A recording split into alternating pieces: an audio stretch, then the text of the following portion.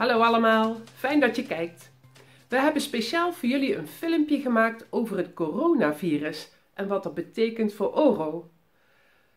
Want wat is corona nou eigenlijk? En welke maatregelen heeft Oro genomen? Wat vinden we daar nou van? Kijk maar mee naar de volgende filmpjes. Hallo, dit is Diana En dit is Angelique. en wij zijn van zorg en dienstverlening. En zoals je ziet houden ook wij ons aan de regels. Ja, want op dit moment gelden er in de wereld, en dus ook in Nederland, speciale regels. Ook binnen ORO moeten wij ons aan deze regels houden. ORO luistert heel goed naar het advies van onze regering. Elke dag komen we met een groepje medewerkers bij elkaar om te praten over deze regels, zodat we goed kunnen uitleggen aan medewerkers en aan cliënten wat deze regels voor jullie betekenen. Deze regels zijn op dit moment niet fijn, maar wel nodig.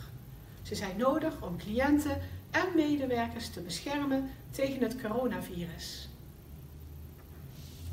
Zo zijn bijvoorbeeld alle woningen binnen Oro gesloten voor bezoekers. En dat geldt ook voor het hele terrein van het Rijtven. Dus als je bij Oro woont, dan kunnen je familie en vrienden voorlopig niet op bezoek komen. Het is beter voor iedereen om thuis te zijn. En daarom is er geen dagbesteding en gaan alle geplande activiteiten en bijeenkomsten niet door. En we snappen dat het heel vervelend is voor iedereen. Maar we maken er samen het beste van. Hallo, ik ben Elsbeth en ik ben dokter bij Oro. Ik ga jullie iets vertellen over het coronavirus. Van het coronavirus merk je verschillende klachten. Je bent verkouden, je voelt je ziek, je moet hoesten, je bent kortademig, dat betekent dat je moeite hebt met ademhalen. En soms heb je ook koorts.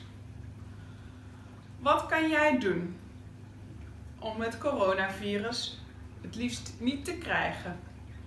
Je, kan je, handen, je moet je handen vaak wassen. Je moet hoesten of niezen aan de binnenkant van je elleboog. Je gebruikt zakdoeken van papier. En als je klaar bent, dan doe je de zakdoek in de prullenbak meteen. Je geeft andere mensen geen hand. Andere mensen niet aanraken en niet te dichtbij komen bij andere mensen. Je moet minstens twee grote stappen van iemand verwijderd blijven. Als je ziek bent, dan blijf je thuis. En je vertelt je ouder, een begeleider of begeleider dat je ziek bent. En die kijkt of het nodig is om de huisarts te bellen. Succes! Met het coronavirus nou kunnen jullie geen bezoek meer ontvangen. Dat is wel raar. Ja. Hoe ga je daarmee om?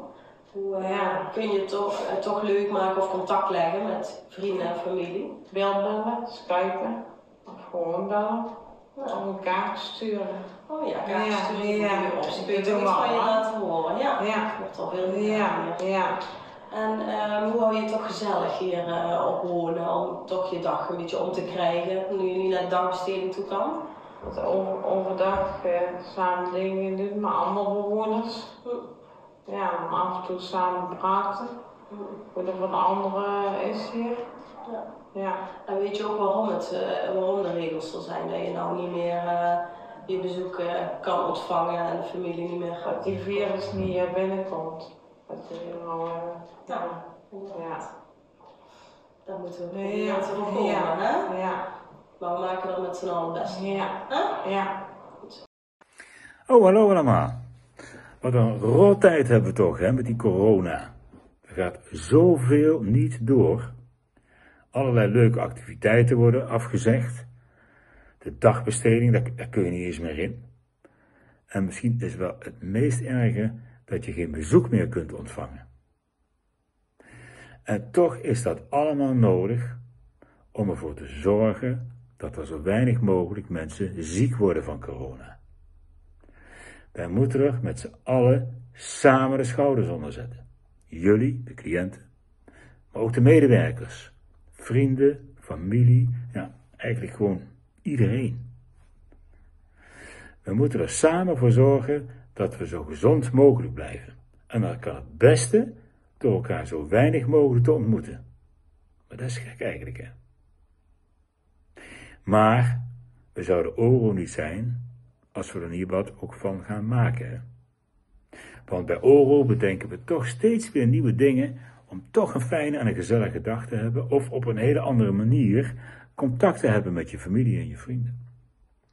Daar mogen we best trots op zijn en blij mee zijn. Ik wil jullie zeggen, blijf allemaal gezond. Kijk naar elkaar om, help daar waar je kunt. En dan komt het straks, later, vast weer allemaal goed. Tot ziens allemaal. Zo, dat was het. Heb je nog vragen of wil je nog speciaal informatie? Kijk dan op de website van oro.nl. Natuurlijk kun je ook altijd terecht bij je eigen contactpersoon. Tot de volgende keer. Doei! Samen zijn we sterk, zorgen goed voor elkaar.